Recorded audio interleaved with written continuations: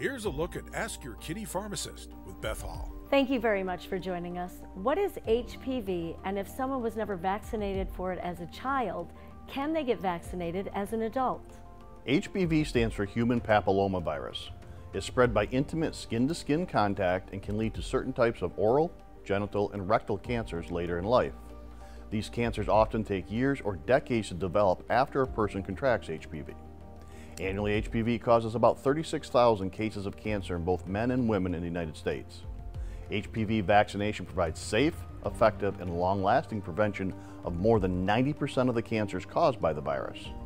While it's recommended that children aged 11 and 12 get two doses of HPV vaccine, adults up to age 45 who aren't vaccinated may be eligible. Thank you very much. And if you'd like to know more, you can stop by Kinney Drugs and ask your pharmacist. This has been Ask Your Kinney Pharmacist.